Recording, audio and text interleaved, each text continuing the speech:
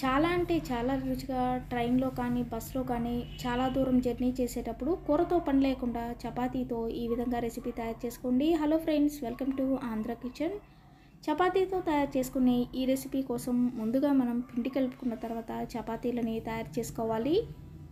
చపాతీలని ఈ విధంగా రౌండ్గా తయారు చేసుకున్న తర్వాత ఇప్పుడు ఇందులోకి ముందుగా మనం పావు చెంచా వరకు కారం యాడ్ చేసుకోవాలండి.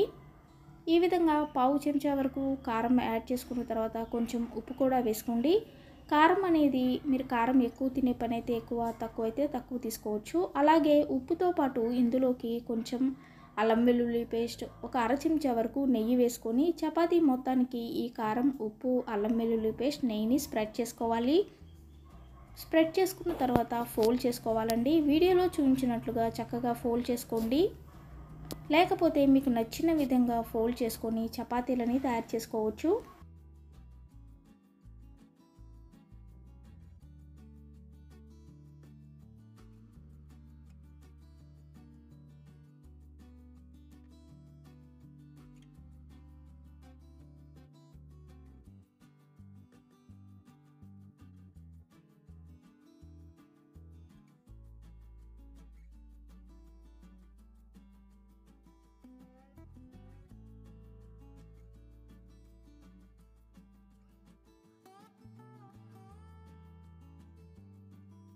ఇలా తయారు చేసుకున్న చపాతీలని ఇప్పుడు పెన్నెం పైన వేసుకొని నూనె వేసుకుంటూ కాల్చుకోవాలి.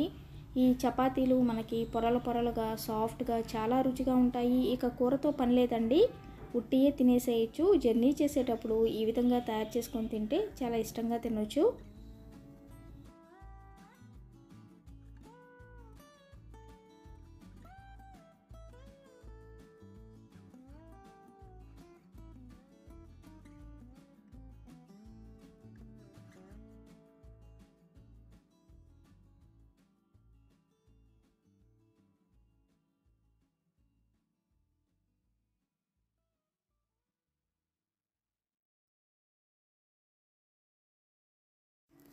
ఈ చిట్కాతో మనం ఉప్పు కారం అల్లం వెల్లుల్లి వేసుకోవటం ద్వారా చాలా రుచిగా ఉంటుంది. నెయ్యి వేసుకొని కాల్చుకుంటే చాలా కమ్మగా ఉంటాయండి. మరి మీ అందరికీ చపాతీతో తయారు చేసుకున్న ఈ రెసిపీ వీడియో కనుక నచ్చినట్లయితే ఈ వీడియోని లైక్ చేయండి షేర్ చేయండి. మరిన్ని వీడియోస్ కోసం మా ఛానల్ని సబ్స్క్రైబ్ చేయండి.